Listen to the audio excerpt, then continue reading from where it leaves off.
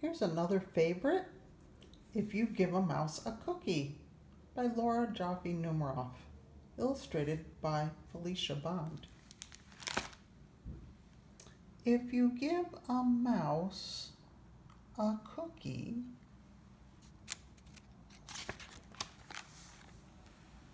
he's going to ask for a glass of milk. When you give him the milk, probably ask you for a straw. And when he's finished, he'll ask for a napkin. Then he'll want to look in the mirror to make sure he doesn't have a milk mustache. When he looks into the mirror, he might notice his hair needs a trim, so he'll probably ask for a pair of nail scissors. When he's finished giving himself a trim, he'll want a broom to sweep up. And he'll start sweeping. And he might get carried away and sweep every room in the house. He may even end up washing the floors as well. And when he's done, he'll probably want to take a nap. You'll have to fix up a little box for him with a blanket and a pillow. He'll crawl in, make himself comfortable, and fluff the pillow a few times. And he'll probably ask you to read him a story.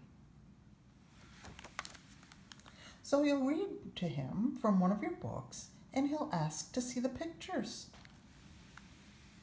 And when he looks at the pictures, he'll get so excited He'll want to draw one of his own and he'll ask for paper and crayons. And he'll draw a picture.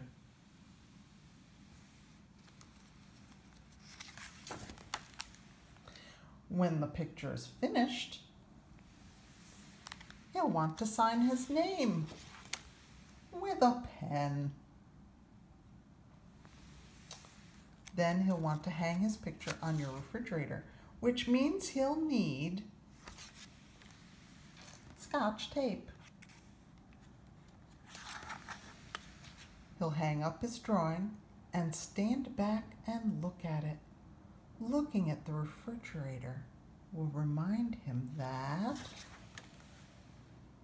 he's thirsty. So he'll ask for a glass of milk.